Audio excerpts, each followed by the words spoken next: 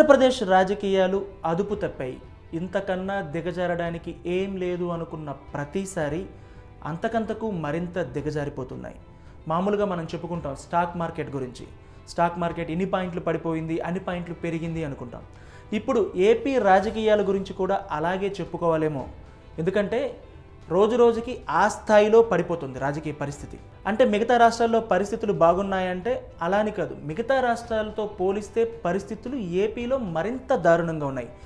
పొరుగునే ఉన్న తెలంగాణలో కూడా పరిస్థితి అలాగే ఉన్నప్పటికీ ఇప్పుడు సందర్భం ఏపీ గురించి కాబట్టి ఏపీ గురించి మాట్లాడుకుందాం.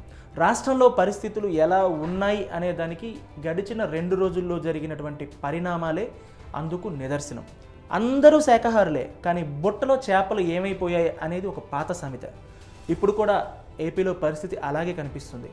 ఎవరికి వారు మేమందరం ఉత్తములే అవతలి వాళ్ళదే తప్పు అన్నట్లుగా మాట్లాడుతున్నారు. ఎవరికి వాళ్ళు ఏం చెప్పాలనుకుంటున్నారో వాళ్ళేం చెప్పాలనుకుంటున్నారో అలాగే బిహేవ్ చేస్తున్నారు. కానీ అసలు ప్రజలు తమ గురించి ఏమనుకుంటున్నారనేది వీళ్ళెవ్వరికీ పట్టడం లేదు. దేశం అడుగుతోంది. ఏబీపీ దేశం అడుగుతోంది.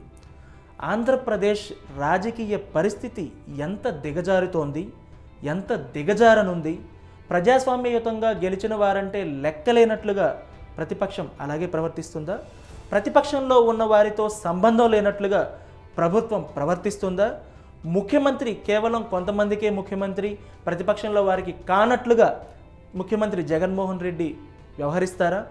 అధికారంలో ఉన్నవారు పార్టీ స్థాయిలో జరగాల్సిన రాజకీయ స్పందనకు పరిపాలనకు మధ్య గీత ఎందుకు గీయలేకపోతున్నారు అని దేశం అడుగుతోంది ఏబీపీ దేశం అడుగుతోంది. టీడీపీ అధికార ప్రతినిధి కొమ్మారెడ్డి పట్టాభిరామ్ చేసిన వ్యాఖ్యలు సంయమనం కోల్పోయి చేసినటువంటి వ్యాఖ్యలు పరుష పదజాలంతో చేసినటువంటి విమర్శలు ఏమాత్రం కూడా సమర్థనీయం కాదు వాంఛనీయం కాదు. కానీ దానికి వచ్చిన రియాక్షన్ అంతకంటే సమర్థించేది కాదు. పూర్తిగా పక్క ప్లాన్తో టీడీపీ సెంట్రల్ ఆఫీస్ మీద దాడి జరిగింది అని విజువల్ చూసిన ఎవరికైనా అర్థమవుతుంది. వాళ్ళు ఏ పార్టీ వాళ్ళు అన్నది ఎవరు చెప్పాల్సిన పని లేదు. ఎందుకంటే దాని గురించి డిస్కషన్ అనవసరం.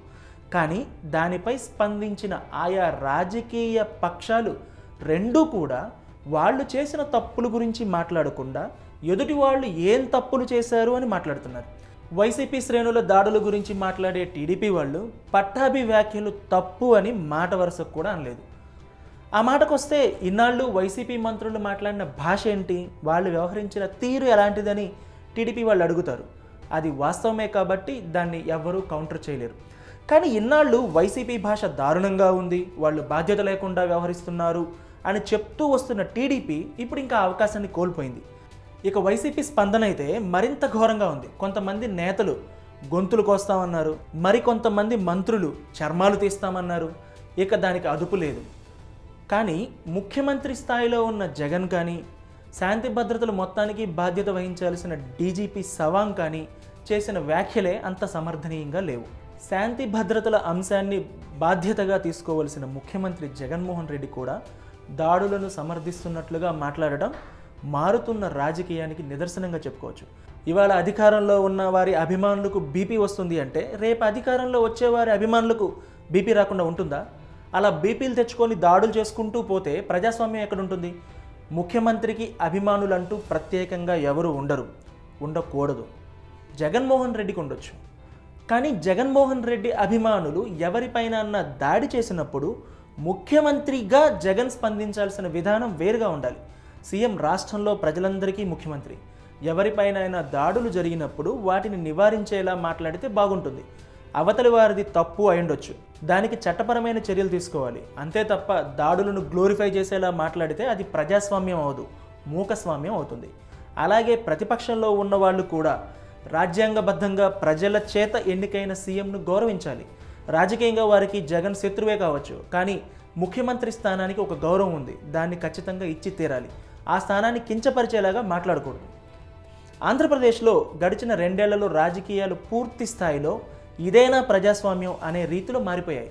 మీరు బూతులు తిడుతున్నారంటే మీరు బూతులు తిడుతున్నారంటూ ఆంధ్రప్రదేశ్లోని అధికార ప్రతిపక్ష పార్టీలు ఒకరిపై ఒకరు దుమ్మెత్తి పోసుకుంటున్నారు. రెండు పార్టీల నేతలు మీరు ఒకటంటే మేము పదనగలమని తిట్టుకుంటున్నారు. ఇప్పుడు దాడుల దశ వరకు వచ్చేశారు. వ్యవస్థీకృతంగా జరుగుతున్నటువంటి ఇలాంటి దాడులను చూసిన తర్వాత ఎవరికైనా సరే రాష్ట్రంలో ప్రజాస్వామ్యం ఉందా అని అనుమానం రావడం సహజం. అలాగే దాడులు జరిగిన తర్వాత జరిగినటువంటి స్పందనను చూసిన తర్వాత కూడా మంత్రులందరూ కూడా ఖచ్చితంగా ముఖ్యమంత్రి పైన చేసినటువంటి వ్యాఖ్యలు చాలా తీవ్రమైనవే. అది ఎవరు కూడా సమర్థించేటువంటి విషయం కాదు. కానీ అలాంటి మాటలు మాట్లాడినప్పుడు రియాక్షన్ ఇలానే ఉంటుంది అనేటువంటి మాటలు అనేవి ముందు ముందు ఎలాంటి పరిస్థితులకు దారి తీస్తాయనేటువంటి అనుమానం వస్తుంది. ఎందుకంటే ఇవాళ మంత్రుల స్థాయిలో ఉన్నవాళ్ళు ముఖ్యమంత్రి స్థాయిలో ఉన్నవాళ్ళు లేకపోతే ముఖ్యమంత్రి తర్వాత స్థానంలో ఉన్నవాళ్ళు ప్రెస్ మీట్లో జరుగుతున్నటువంటి ప్రెస్ మీట్లో మాట్లాడుతున్నటువంటి మాటలు చూసిన తర్వాత ఎవరైనా సరే ఏం చేసినా పర్లేదు అనేటువంటి ఒక అభిప్రాయానికి వచ్చినట్లయితే అలాగే కొంతమంది మంత్రులు చెప్తున్నారు. ముందు ముందు ఇలాగే జరుగుతాయి అందరి ఇళ్ళకెళ్ళి అందరు అందరి ఇంటికి వెళ్ళి మరీ ప్రశ్నిస్తామని చెప్తూ ఉన్నారంటే ఇది ఇలాంటి పరిస్థితి రాకుండా ఉండాల్సింది. ఎందుకంటే ఖచ్చితంగా దీన్ని రాజకీయంగా ఎదుర్కోవాలి లేకపోతే దానిపైన చట్టపరమైన చర్యలు తీసుకోవాలి లేకపోతే అలా మాట్లాడిన వ్యక్తి మీద అలా మాట్లాడినటువంటి వ్యక్తి పైన కేసులు పెట్టాలి. అలాగే ఇక్కడ ఇంకోటి కూడా ఉంది. మాట్లాడిపోయిన అలా మాట్లాడిన వ్యక్తి పైన కేసులు అంటే కేవలం ఆ కేసులు ప్రతిపక్ష పార్టీలకే వర్తిస్తాయా? అధికార పార్టీలో వాళ్ళు మాట్లాడలేదంటే వాళ్ళందరూ కూడా మాట్లాడారు. మరి దీని గురించి ఏమీ మాట్లాడకుండా ఇవాళ ఈ స్థాయిలో బాధ్యతాయుతమైనటువంటి పదవుల్లో ఉన్నవారు ఇలా మాట్లాడడం అనేది ప్రజలకు ఆందోళనకరంగా ఉంది. రాష్ట్రంలో పరిస్థితులు ఎలా ఉంటాయన్నటువంటి ఆందోళనకరంగా ఉంది. ఎందుకంటే ఈ స్థాయిలో దాడులు జరుగుతూ ఉంటే ప్రతిపక్ష పార్టీలకు రక్షణ ఉంటుందా? ఇలా అయితే ప్రతిపక్షాలు ప్రభుత్వాన్ని ప్రశ్నించగలవా అనేది అందరికీ వచ్చిన సందేహం. రాజకీయంలో ప్రత్యర్థిని ఓడించాలంటే ప్రజలను మెప్పించాలి. ప్రత్యర్థి కన్నా తాను గొప్ప అని ప్రజలకు నమ్మకం కలిగించి ఓట్లు వేయించుకొని గెలవాలి. అది గెలుపు. అంతేగాని ప్రత్యర్థిని బండబూతులు తిట్టడం కొట్టడానికి వెళ్ళడం దాడులు చేయడం రాజకీయం కాదు. కానీ ఇప్పుడు ఇదే రాజకీయంగా మారిపోయింది. ఇది అన్ని పార్టీలకు వర్తిస్తుంది. ఒక్కళ్ళకి మాత్రమే కాదు. మాటకు మాట దెబ్బకు దెబ్బ తీయకపోతే వాడిని చేతకాని వాడిగా జత కట్టేసేటువంటి పరిస్థితి రాజకీయాల్లో వచ్చింది. ఇది అసలు ఈ పరిస్థితి కావాలని ఎవరూ కోరుకోరు రాజకీయాల్లో అసలు కోరుకోరు. కానీ పరిస్థితులు మాత్రం అలా మారిపోయాయి. ఒకరు ఒకటంటే మేం పదంటాం అనే స్థాయికి వెళ్ళిపోయారు. చివరికి ఇది ఎక్కడికి చేరుతుందో అంచనా వేయడం కష్టం. ఇదంతా ప్రజాస్వామ్యానికి పెను ప్రమాదం తెచ్చిపెట్టేది.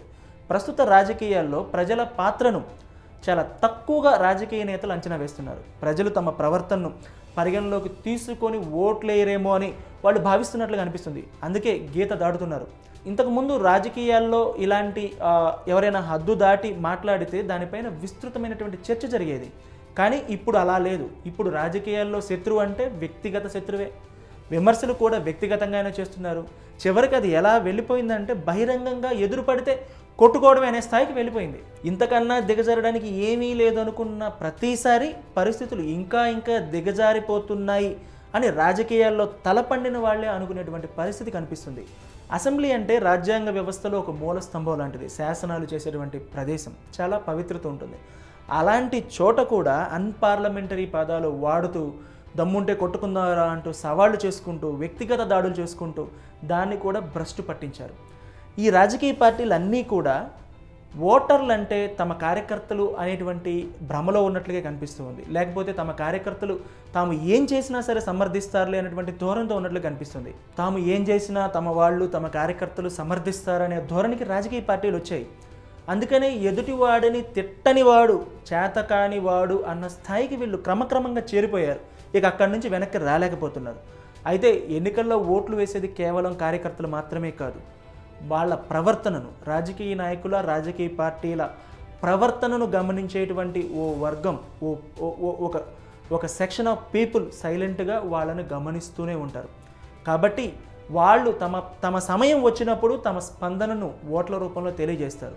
అయితే ఇప్పటికే ఓట్ల ద్వారా గెలిచారు కాబట్టి వీళ్ళు వీళ్ళకి కొన్ని బాధ్యతలు అప్పగించారు కాబట్టి ప్రభుత్వం ఏర్పాటుకు బాధ్యత అప్పగించినటువంటి అధికార పార్టీ అలాగే ప్రతిపక్ష పాత్ర పోషించమని బాధ్యత అప్పగించినటువంటి ప్రతిపక్షం కూడా అప్పటి వరకు బాధ్యతగా ఉండాలి ఉండాలి అని దేశం అడుగుతోంది ఏబీపీ దేశం అడుగుతోంది.